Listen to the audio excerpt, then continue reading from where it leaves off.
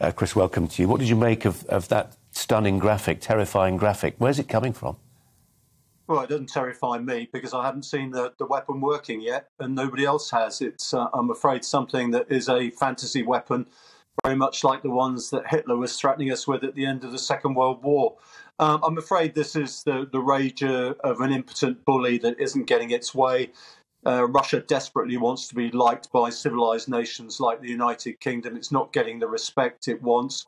And so it's thrashing around, threatening us with all sorts of things that it knows it will never be able to or be willing to implement because if it does, it will get a boatload of Trident back the other way, and most of its major cities will disappear in a radioactive cloud as well.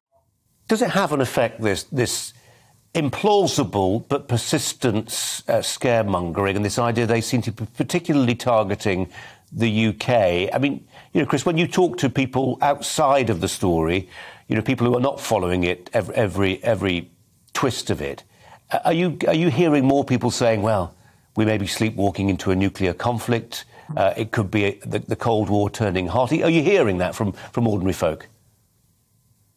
Well, I think people um, are, the Russians are, are, trying to make everybody feel anxious uh, about things they don't know about. But, uh, you know, take it from me, uh, there's no way that the Russian mafia oligarchies uh, at the top of this organization are going to risk annihilation on, uh, on their own side for the sake of a regional conflict.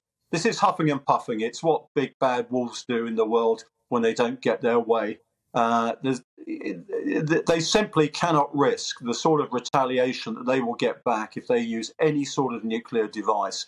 And of course, what they're forgetting, of course, is that radioactive tsunami uh, has got more than more than enough energy to make its way across Europe into Russia as well. Uh, I mean, this, this is just brainless thinking.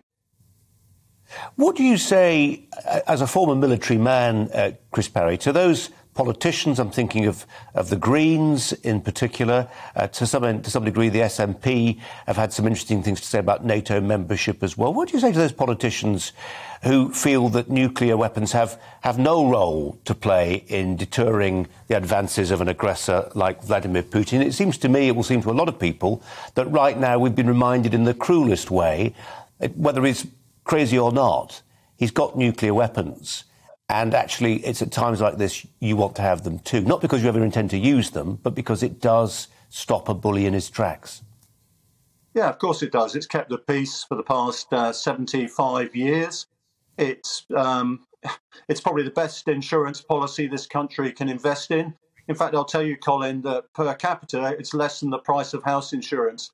And that's keeping us safe from uh, the bully's threats and also the threat of uh, nuclear annihilation when, when I hear the SNP and the Greens speak, uh, you know, I want to say to them, look, you're being strategically illiterate, frankly, and uh, a strategy of wishful thinking is not suitable uh, to represent your constituents in the modern world. There are evil regimes out there, they wish us harm, and I'm afraid to say becoming a nuclear free zone or leaving NATO, uh, neither of those are adequate solutions to that sort of and scale of problem.